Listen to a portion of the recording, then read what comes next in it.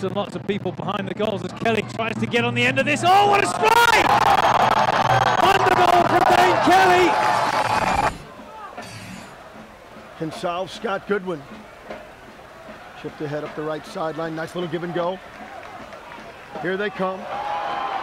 Vandergrift got it ahead. Now curled through the middle. Hardware settles. Wants the left foot. Can he get it there? A shot. He scores!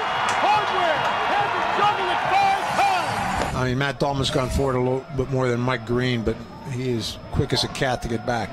Colin oh, Rolfe. jeez. Combination play! and the Rhinos have oh, tied it. Volesky, Christian Volesky, and that happened right out near the top of the Riverhounds area. And it's 1 1. Didn't look like much was going on. Nothing. On with the Hounds in possession. And they have a move upfield. Moloto, Chabrilo, back Oh, yes! to Moloto! Yes! He Oh boy, that was oh, beautiful. that's huge goal.